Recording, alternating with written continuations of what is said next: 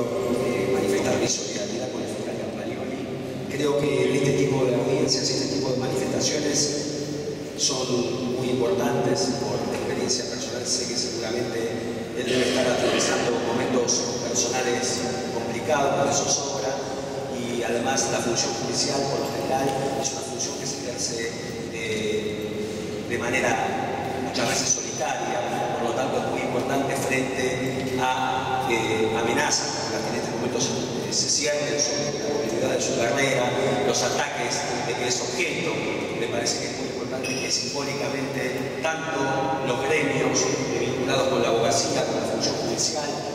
como, la política esté eh, aquí presente manifestando su solidaridad. Quiero también eh, lamentar que la Procuradora haya defraudado varios habíamos puesto en ella, en mi caso particular, por haber trabajado como fiscal y haber escuchado cómo ella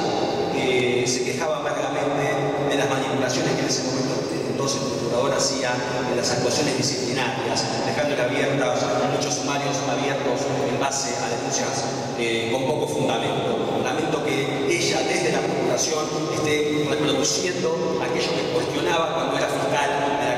de la hecho, tanto el ejemplo del doctor Campagnoli como otros casos como el de Rívolo, que está siendo objeto también de actuaciones disciplinarias que no se cierran nunca por motivos fútiles, me parece que eh, que son eh, motivos de, de daño. Básicamente, digamos, para. Lo mismo que las promesas que asumió la procuradora sentada acá en este mismo salón,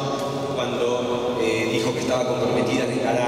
acciones serias contra la corrupción. Hoy en día vemos que la Fiscalía de Investigaciones Administrativas sigue en ruinas,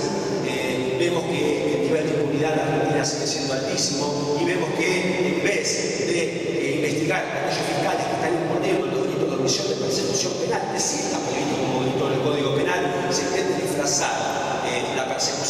que ha investigado, está investigando hechos de corrupción, inventando delitos como la violación de los deberes de funcionario público, que además eh, se lo persigue en base a criterios autoritarios como categoría que hace rato que yo no veía que a un fiscal se lo acusara o se intentara aplicar una sanción más grave, que la de remoción, diciendo que está actuando, violando eh, la prudencia, la mesura la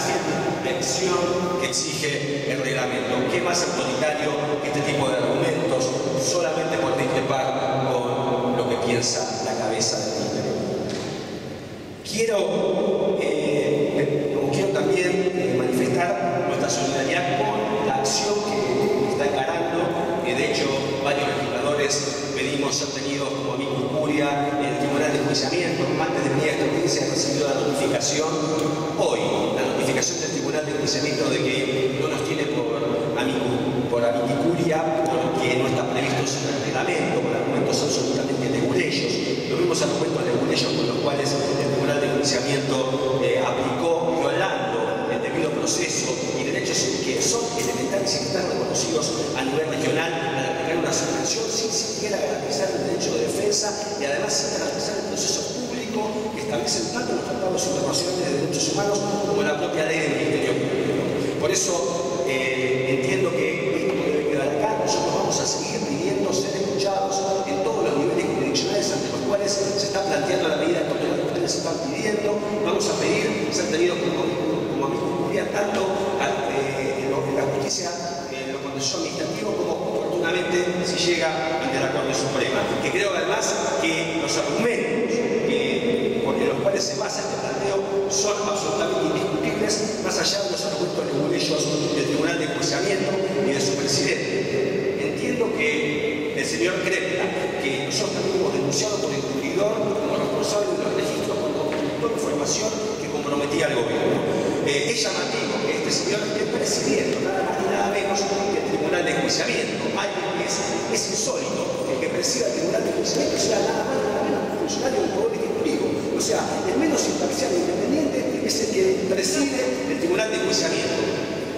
Eh, eso eh, me conduce, quiero terminar con esto, a cuestiones que sí están pendientes y que son competencia del Congreso y que implicarían mejorar sustancialmente la situación de independencia del Ministerio Público. Eh, tanto